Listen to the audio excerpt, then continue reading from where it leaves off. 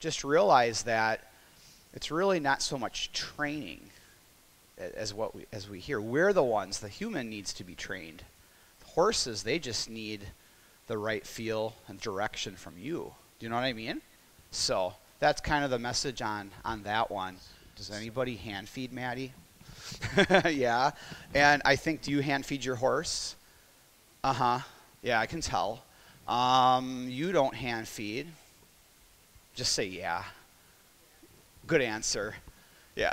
Maybe you do hand feed. Stop it if you are. And Ron, I don't think you hand feed anymore. But let's just go over that real quick. If you hand feed, all right, it's called rewarding at variable intervals. So do you know it's like I always say it's like a slot machine.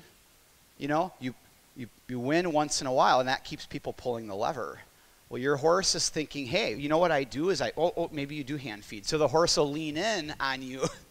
They'll lean in, get on their front legs. They're bearing in on you. They're leaning in. They're on their front end. And what they do is they think if they nudge you enough, poop, treat pops, magic, treat pops in their mouth. So they don't always understand why they get a treat, see? So what they do is they just do the behaviors that gets them the treat.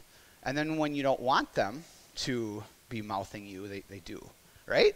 Makes sense? May I work with your horse first? Okay. Nice.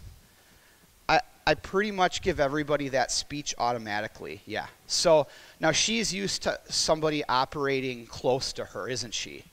All right, so I'm just going to let her out and we'll explore a little bit. Notice she was licking and chewing there a little bit. That'll that'll be meaningful. I'm telling her just just stay back. There, there, stay back. So wouldn't it be nice if any time you're riding or working on the ground and your horse started to freak out that you could establish a halt? Right? So any any time just let her have a think there. Um, anytime your horse gets excited, if you could halt, wouldn't that be a nice feature to have? A safety. There we go. Look at that. Safety switch.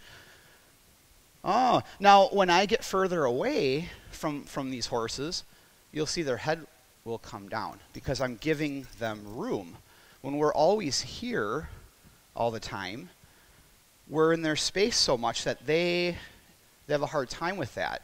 Notice when I lift, I'll lift up because in the saddle, we're going to lift up when we want to ride forward or back up. So you'll notice I get tall. So what I'll do is I'll say to her, stay put, stay where you're at, but it's really by lifting.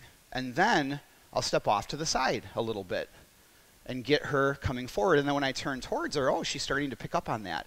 So it's really nice to have the horse square, nose between their shoulders, well, I wasn't really on the ball there. See, and then she walked off. So when that nose comes past the shoulder, all of a sudden the mind leaves you and they walk off. So if I keep that nose between the shoulders when I'm in front, she'll be ready. If I get tall and step in, that would be back up. All right? And I'm going to walk off. There's a headlight. You didn't know it, but there's a headlight on your chest, and you can shine that headlight to where you'd like to go. So if I want to walk towards you, I shine the headlight towards you. But if I want to halt, shine it towards the horse. So she's picking up on that. So that allows me to get further away, which is fun for the horse. And the horse appreciates you being further away. So same same thing. Now she's not used to that back there.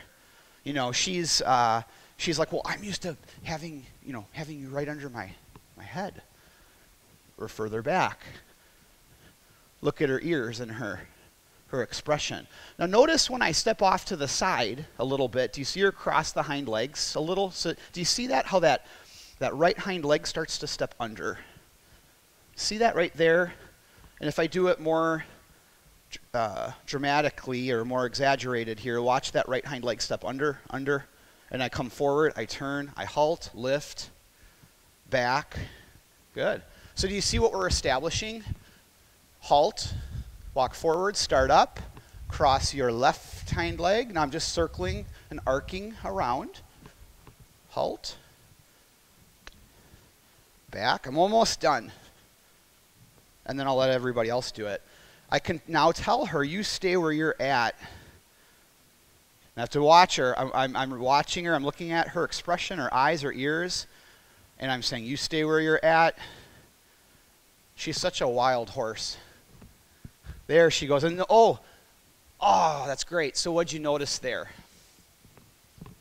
She's, she's like, say that again. Totally. Yeah. So I, it's not always about pushing.